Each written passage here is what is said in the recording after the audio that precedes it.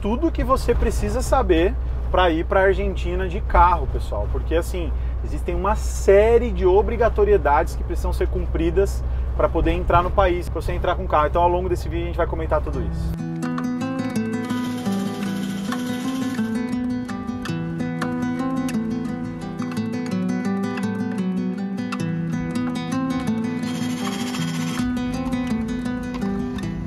Esse cara aqui cuidou do nosso carro, falou que pode ir pra Argentina tranquilo. Estamos liberados? Fechadíssimo.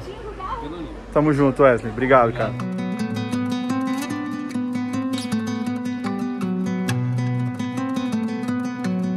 E é isso mesmo, pessoal. Como vocês ouviram, estamos liberados. Yes! O carro tá zeradinho. E partiu Argentina, amor! Uhul! Partiu Argentina! Partiu Argentina! Muito graciosa, muito querida. Vamos encontrar nos, nuestros hermanos. Nos, nuestros hermanos. Bora hablar lá, espanhol, que não hablamos muito. Bora lá, gente. Vai ser uma viagem longa até lá, né? Estamos partindo aqui de São José dos Campos, a gente vai parar no posto ainda para abastecer, calibrar pneus, mas mecanicamente falando, estamos ó 100%, gente, 100%, 200%, né? Assim, até mais coisas do que podia ter sido feito, eles já fizeram, né? Porque legal que eles que o mecânico Wesley segue a gente e tal. Daí ele, eu falei para ele, ó, cara, a gente tá indo pra Argentina, você tá sabendo em primeira mão, então, meu, responsabilidade tá contigo, hein, cara. Cuida, por favor, da nossa casinha, de tudo que você puder. Meu, ele ficou dois dias trabalhando no carro, só ele o dia inteiro, ó. Um dia e meio, né, no caso.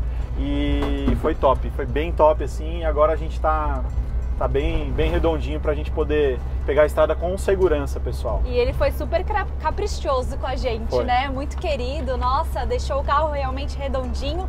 Pessoal, a gente está saindo aqui da cidade de São José dos Campos e indo em direção à cidade de Foz do Iguaçu. Exato. Levaremos provavelmente dois dias aí de viagem e ao longo desse vídeo vocês vão acompanhando toda essa viagem com a gente.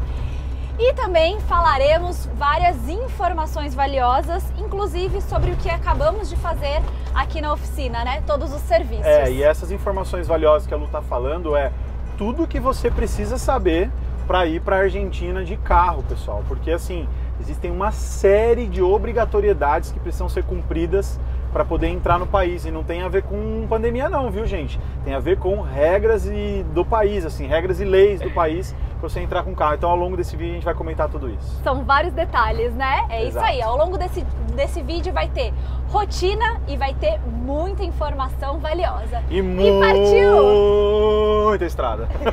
partiu, pessoal. Bora lá, Bora. gente.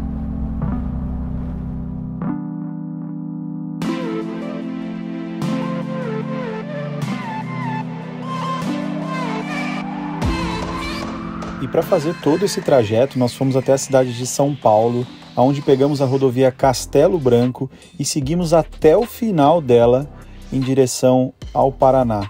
Cruzamos a cidade de Londrina, Maringá e nos empolgamos tanto que dirigimos inclusive um pouco à noite, coisa que não costumamos fazer, e resolvemos ir até a cidade de Campo Mourão, aonde encontramos um posto para dormirmos.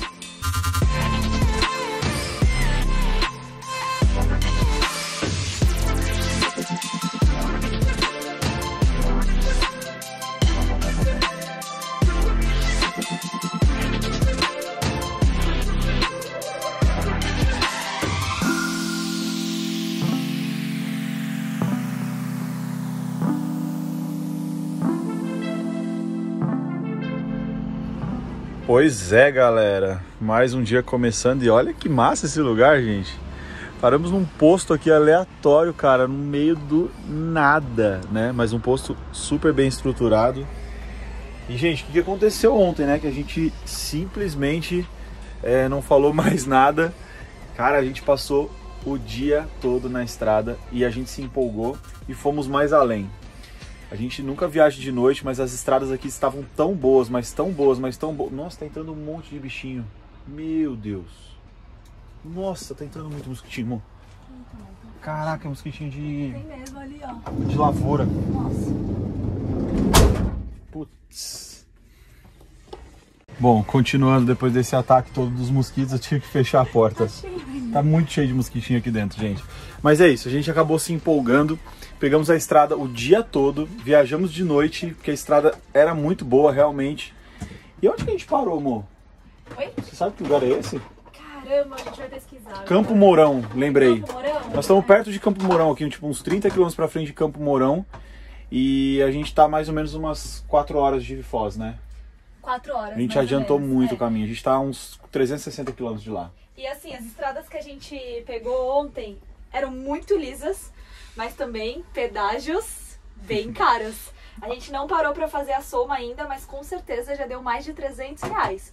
Isso porque o nosso carro é rodado duplo. Para um carro normal seria metade do valor. É, os valores Mas são bem compensa, altos. né? Compensaram, é. Eu falei, eu sempre falei pra Lu, prefiro pagar o pedágio e pegar uma estrada boa, que não vai danificar o carro, do que pegar uma estrada ruim sem não pedágio. teve 100 metros né, de Não. estrada ruim. Não teve. Gente, é o seguinte, quero mostrar pra vocês aqui a- o tamanho da revisão que nós fizemos no carro pra gente poder ficar tranquilo agora pra ir pro nosso destino, que é a Argentina. Olha só, é, eu comprei lâmpada sobressalente, né, pros faróis e tal. Tinha um farol queimado, troquei. Troca de óleo, filtro, filtro de ar, filtro de combustível, filtro do ar-condicionado, filtro Racor, jogo de pastilha traseira, a gente, nós trocamos também. É, lâmpada da placa estava queimada. Tinha uma outra, é, aqui duas lâmpadas a mais que a gente comprou. É, aí os serviços, olha só. É, ele regulou pra gente o freio de mão que não estava funcionando há muito tempo. E em uma outra oficina tentaram cobrar 2.500 da gente pra, só para regular o freio de mão, que é absurdo, né? Monitoramento de injeção eletrônica, limpeza de pastilha dianteira, alinhamento e balanceamento do nosso carro. E, enfim, troca de óleo e filtro e isso aqui é serviço. Toda essa revisão aqui, ó, custou R$ 2.066,70. E eu achei um valor ok, eu achei um valor assim justo, sabe? Pela qualidade do serviço. Ele descobriu que a nossa. Ah, esqueci da buzina, não tá anotada aqui, porque ele nem colocou. A nossa buzina do carro tava solta. Eu falei pra ele, cara, eu tô passando em trepidação, tá fazendo uma barulheira de um chocalho no nosso carro. Ele falou, não, não, já achei já, sua buzina tá solta aqui, eu já é, refiz o suporte dela, já aprendi de novo. Então fizemos todo esse serviço aqui. Comenta aqui embaixo se você achou caro ou barato esse serviço, né? Lembrando que carros a diesel têm uma manutenção, acho que um pouco mais alta do que um carro comum. Então foi isso que fizemos. E agora a gente vai tomar um cafezinho aqui, ó. A Lu fez um ovinho, hoje feito pela chefe Luana.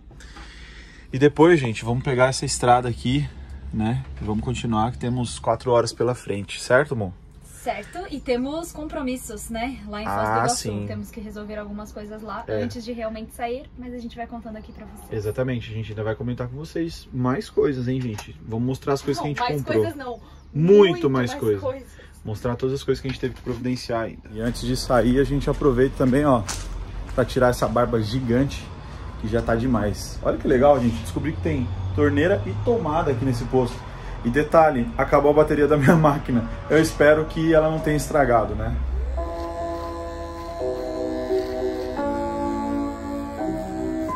Agora sim, gente, partiu. Vamos pegar a estrada.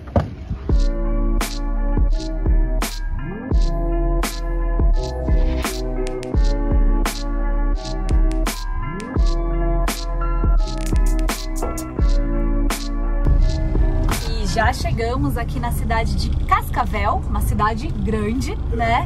E vamos aproveitar para fazer umas comprinhas no mercado. Mas antes, a gente quer aproveitar para dar mais uma informação valiosa. A gente já falou em alguns vídeos e gravamos um vídeo específico sobre seguro de motorhome. E aí, né, pode ser que muitos tenham essa dúvida, mas e aí, vocês vão sair do Brasil? Vale a pena continuar com esse seguro ou não? E pessoal, Sim, vale a pena. Nós vamos continuar com o seguro do motorhome, tá bom? Inclusive, quando a gente gravou um vídeo só sobre isso, a gente explicou como funcionava tudo e a gente acabou dando uma informação errada naquele vídeo. Quando você sai do Brasil ou até aqui, são praticamente três coberturas que existem.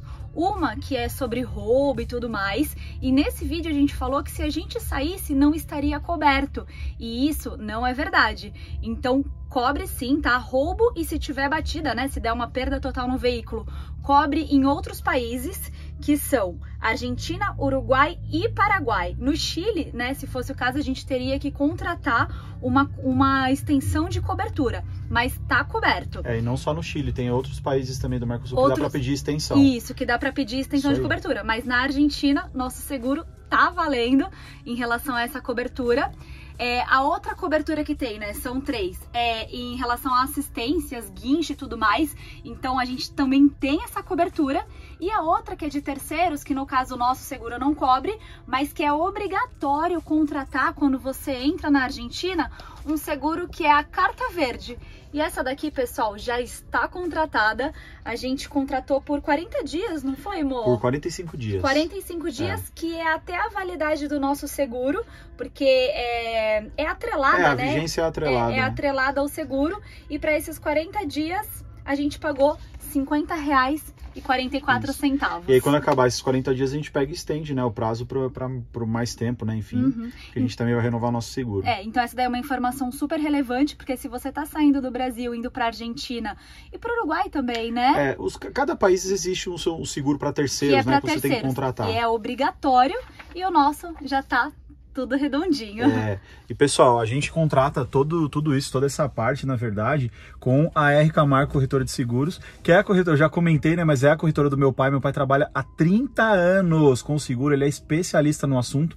E não é só com seguro de motorhome. A gente fica muito feliz de saber, a gente recebe muitas mensagens que vocês estão se tornando clientes, né, da empresa do meu pai, estão elogiando demais o atendimento, né? Então, muito legal, porque ele não faz só seguro de motorhome, ele faz seguro de é, veículos, residências agências, é, empresas, seguro, seguro saúde, saúde, né? O nosso convênio médico foi feito com a empresa dele, né? Então, assim, ele trabalha com todos os tipos de seguro. E aí a gente vai deixar aqui embaixo o contato na descrição do vídeo é, da corretora do meu pai. Pode ser que você, inclusive, fale direto com ele, né? Para que você possa consultar sobre seguro de motorhome e outros tipos de seguro também. Fala que você é seguidor Paz Amor e Viagem, porque tem, tem desconto, desconto, é a melhor parte, tem Aproveita desconto. Aproveita que tem desconto. É isso aí. E essa carta verde foi ele que ajudou. Ele, ele que... ajuda em tudo, né? Em, em relação a isso, a gente já fala já Exatamente. Então, é, você vai ter toda uma assistência aí e hum. também, claro, a experiência de 30 anos aí trabalhando exatamente com isso. Desde que eu sou criança, meu pai trabalha com isso, então ele entende muito e ele ama o que faz, tá bom? Ele vai adorar falar com vocês. E a outra informação para vocês, pessoal, que agora não tem nada a ver com seguro, na verdade é para você se sentir mais seguro, claro, é que os países agora estão exigindo um certificado de vacinação, tá? Então, para entrar na Argentina, nós precisaremos apresentar esse certificado e provavelmente é, precisaremos apresentar em vários locais. Nós temos algumas cópias disso aqui, né? A gente tirou várias cópias e a gente também tem o aplicativo, né? Que tem o certificado online com o QR Code, né? Que é esse código aqui, que provavelmente alguns lugares vão é, solicitar e vão escanear também. E além desse certificado, para entrar na Argentina, nós precisaremos apresentar um exame de PCR feito em até 72 horas e também tem um exame antígeno que é feito na própria aduana, né, na fronteira. Até onde nós sabemos, e aí a gente vai confirmar quando a gente atravessar a fronteira, a gente vai falar em algum outro vídeo, é, esse exame de antígeno estava sendo cobrado 150 reais por pessoa na aduana, mas na fronteira de Foz do Iguaçu com a Argentina, com Porto Iguaçu, parece que agora não estão cobrando como uma maneira de incentivar o turismo. Então, mais para frente a gente, é, a gente confirma isso para vocês. E bora fazer compra, gente? Partiu! Bora fazer compra, bora no mercado que hoje vai ter uma receita especial de Vamos. noite.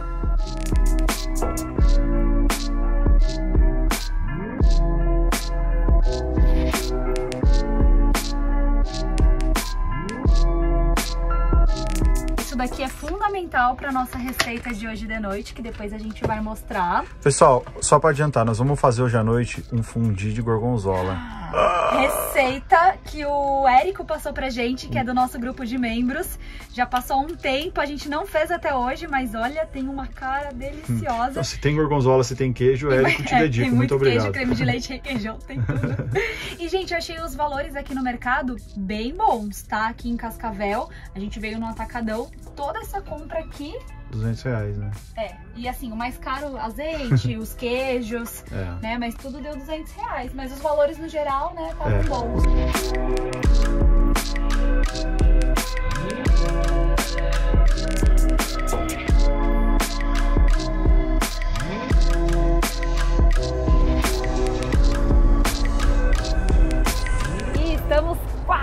Chegando na cidade de Foz do Iguaçu. Tem aí mais ou menos uma hora de estrada pela frente.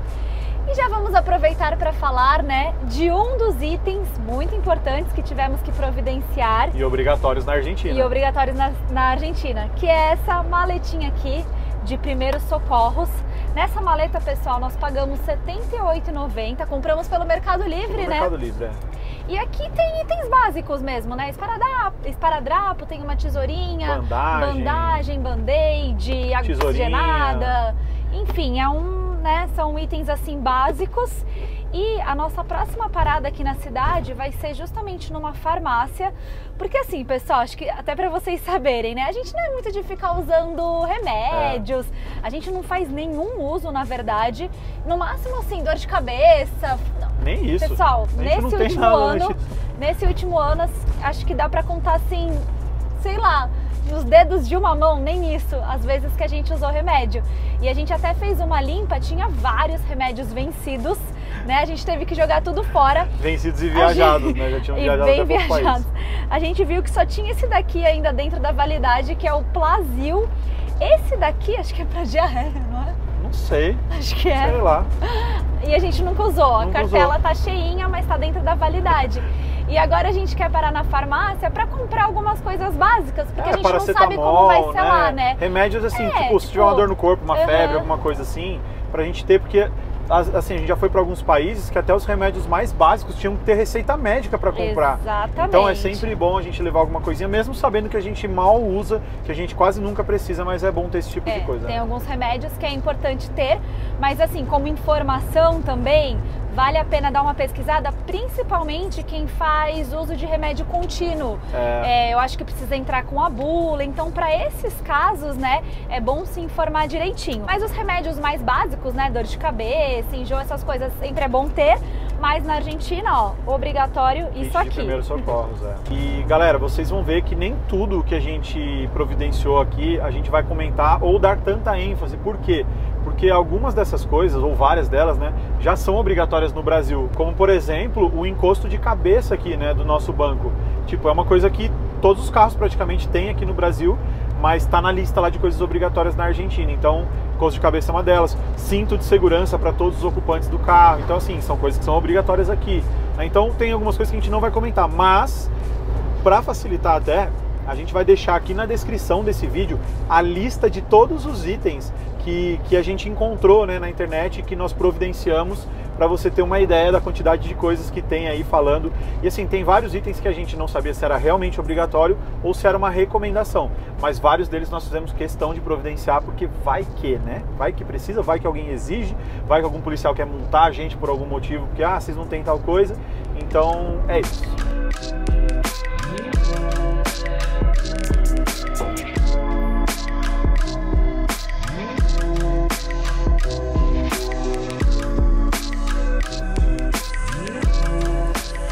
Galera, chegamos em Foz e já viemos direto para a farmácia. Porque comprinhas que a gente comentou com vocês. Vamos lá dentro e ver o que, que tem lá que a gente vai levar. Nem a gente sabe ainda, a gente Nem vai a gente olhando sabe. e vai escolhendo na hora, né, amor? Aquele Plasil que eu falei não é para diarreia, é para enjoo. então vamos comprar um Floratil. Esse sim, é para prender bom? o intestino. Será que é bom, gente? O Para que vocês acham? reconstituir a flora intestinal. Aí é que tá, a gente vai comprar algumas coisas aqui, lógico, a gente vai ver uma lista, coisas básicas, mas o que, que vocês levariam? O que, que não pode faltar É de verdade. medicamento?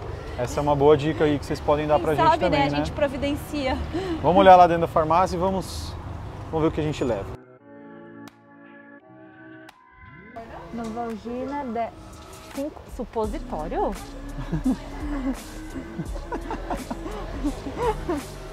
Isso aí já é paracetamol Nossa, também, esse entendeu? daqui é aquele lá que acho que tem noite também. É.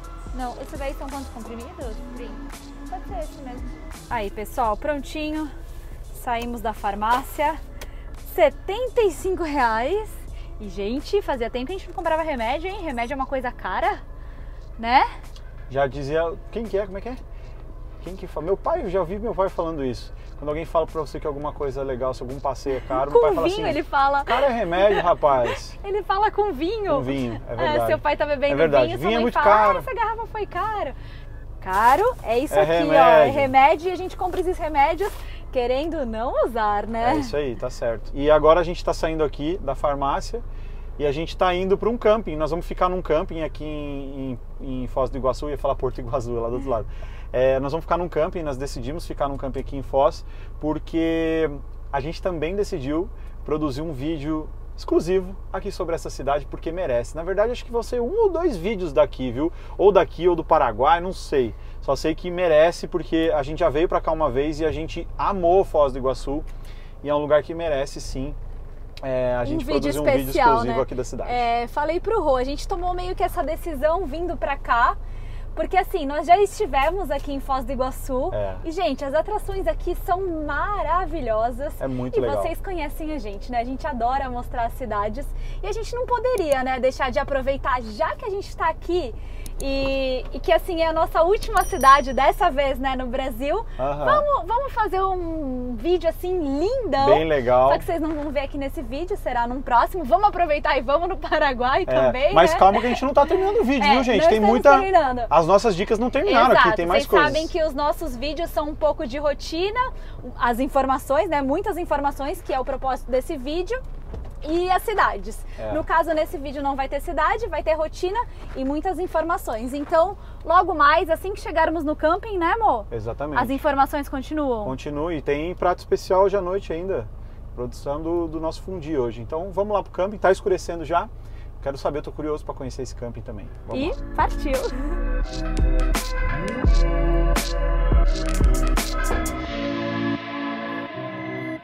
Bom, galera, agora vamos a todas as informações que ficaram faltando, que a gente comentou, de todas as dicas, coisas necessárias que você precisa para levar para a Argentina. Enquanto eu tô falando aqui, a Lu tá aqui preparando a nossa receita do dia, nosso fundi de gorgonzola. Você vai falar a receita? Vou falar receita. falar a receita, Bônus então tá no final do, di- do vídeo. do vídeo. É, quem chegar até o final vai assistir a receita. Então, ó, primeira coisa, pessoal.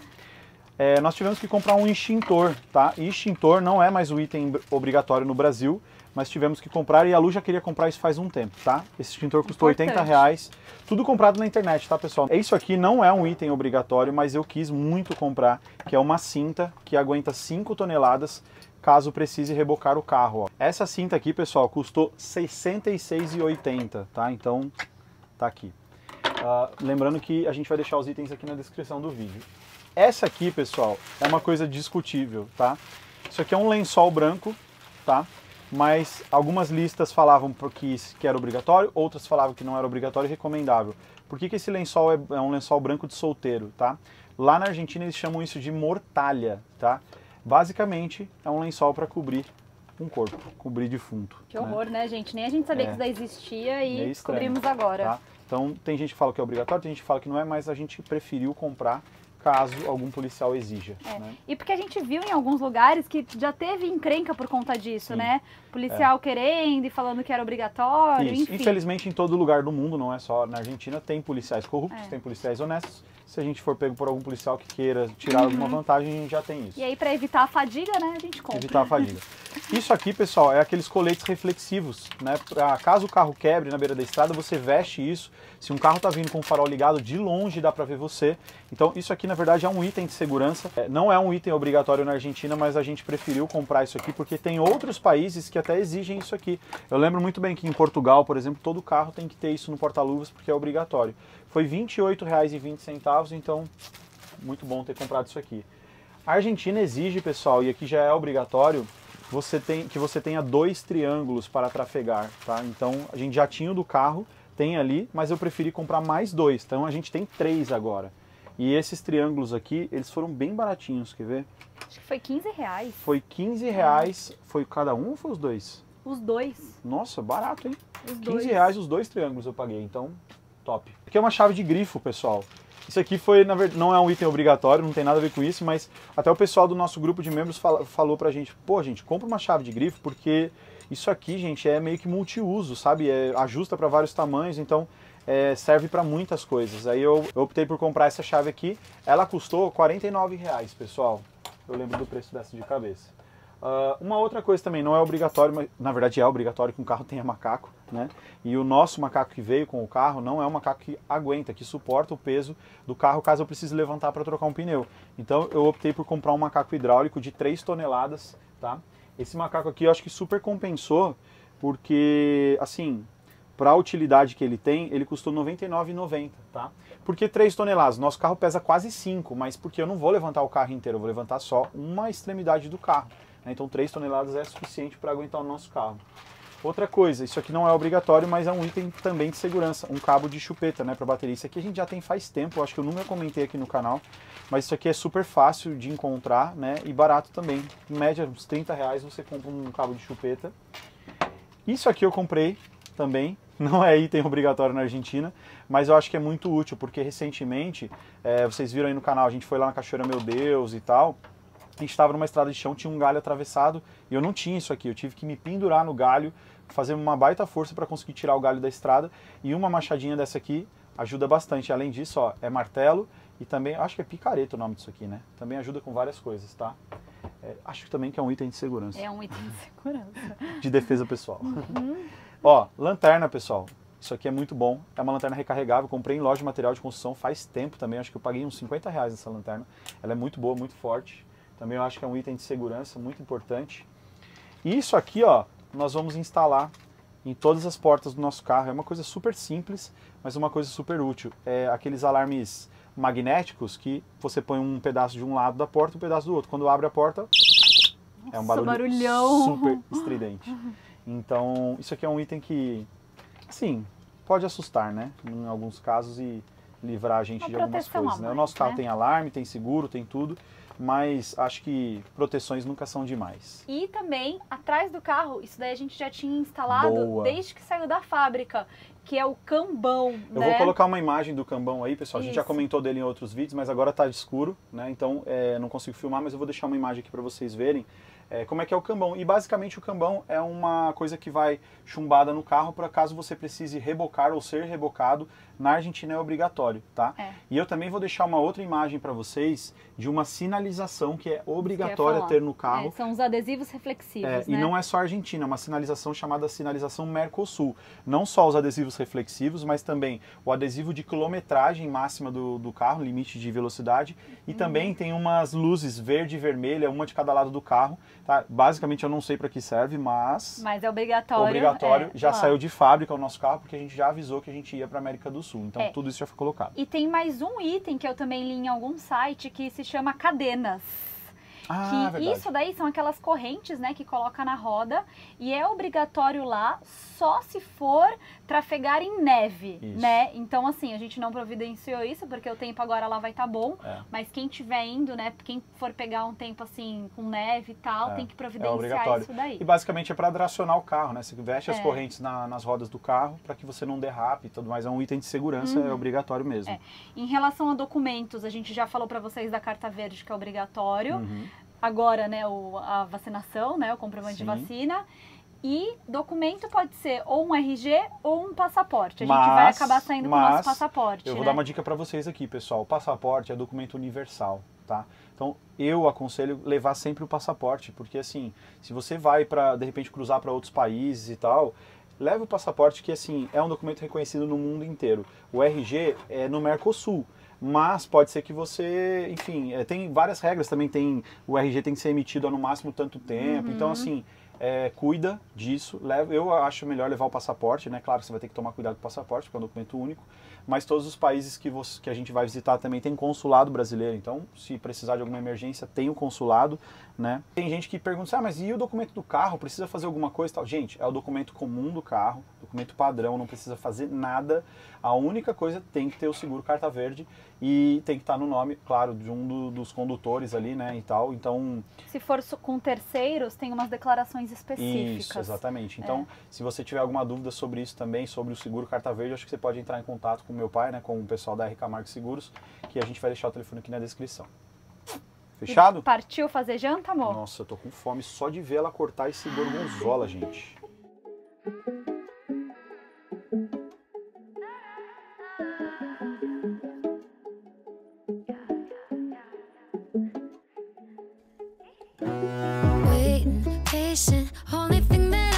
Been good at. No, no, chasing ways to have it to myself just like I should, yeah. Controlling all of my thoughts, I want you on my body, turning me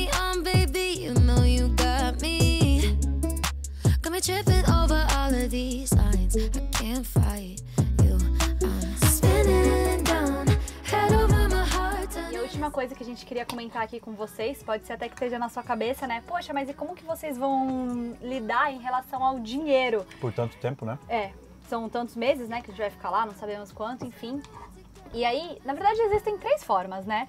Uma delas é andar com o dinheiro em espécie mesmo, então a gente vai ter que chegar lá, né, e trocar uma parte para andar aqui com dinheiro, Mas que não é queremos importante. andar com uma quantidade absurda. É, uma quantidade assim, né? A gente ainda vai ver quanto que é legal, mas Não. daí vai ficar para os próximos vídeos. Então assim que a gente chegar lá, a gente vai pegar uma parte em espécie. A gente também tem conta internacional. Com essa conta, a gente consegue passar mesmo no próprio débito. E é legal porque não tem a cobrança do IOF. Porque a conta né? não é no Brasil, então é um cartão de Isso. débito, mas funciona no mundo inteiro. Uhum. Isso E é a muito bom. outra forma, né, caso não dê, a gente não tenha dinheiro ou não dê para passar o débito, é o tradicional cartão de crédito, né, que a gente já Isso. vai habilitar essa função, né, já é internacional o nosso cartão, Uhum. mas a gente tem que dizer para onde a gente está indo, né, e, Sim. para eles ficarem cientes. E aí, no último caso, a gente usaria um cartão de Sim. crédito. É, eu lembrei de uma quarta aqui também agora, que são algumas agências, né? Daquelas agências que você é, faz câmbio e você transfere, eles, você vai lá no local, eles te dão uma conta para você transferir, você transfere da conta do Brasil para lá, faz uma transferência, e, e aí eles te dão em espécie no país que você tá. Se a gente porventura vier usar esse tipo de serviço, a gente vai mostrar para vocês em vídeos futuros, mas também é mais uma dessas maneiras de fazer, né? Uhum. E basicamente é isso, pessoal. Deve ter alguma informação que não sei se Lembrei a gente de mais uma. Lembrei de mais uma.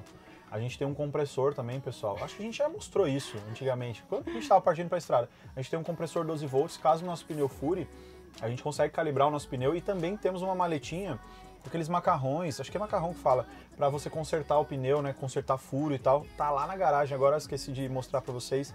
Mas também temos esse, esse tipo de coisa que não é obrigatória, mas é um item que eu acho que é de segurança para você se salvar. Às vezes está no meio de um deserto, às vezes algum lugar inóspito, né? A gente consegue resolver isso também. E se a gente esqueceu de falar alguma coisa, pessoal, deixa aqui nos comentários, porque inclusive quem estiver assistindo esse vídeo vai servir, né, como utilidade também. A pessoa pode ir lá nos Aham. comentários e ler e talvez tenha alguma coisa que a gente esqueceu de falar. Inclusive, tá? se você conhece alguém que está querendo ir para a Argentina ou para os países do Mercosul, compartilha esse vídeo com essa pessoa, porque eu acho que isso pode ajudar pra caramba, né? E se você quiser ver as cenas dos próximos capítulos, a gente fazendo exame PCR, essas coisas todas de burocracia de aduana e tal, acompanhe os nossos próximos vídeos e se inscreve aqui no canal para você ver como é que vai ser todo esse processo de travessia, se vai ter burocracia, se não tudo, vai. tudo. A gente vai mostrar todos os detalhes para vocês. A gente sempre tá com aventuras. vídeos novos aí, né? No Uhum. mínimo, duas vezes por semana No tem vídeo novo no nosso canal. É isso aí. E considere também clicar aqui embaixo no Seja Membro para você ser um apoiador aqui do nosso canal e, e ajudar a gente, né? Apoiar com a partir de R$ 4,99 por mês as nossas produções, os nossos conteúdos aqui no YouTube. E além de você estar apoiando, você tem alguns benefícios. Você tem acesso de, à aula de finanças nosso, você tem um distintivo do lado do seu nome que te dá destaque nos comentários aí. Então, dá uma olhadinha aqui embaixo no Seja Membro, porque tem algumas categorias para você poder escolher e você também vai estar auxiliando a gente de várias formas a continuar melhorando o nosso conteúdo. E é isso aí, então, pessoal. A gente se encontra nos próximos episódios, sempre com muita paz, muito amor e muitas viagens. Valeu, gente. Tchau. Muito...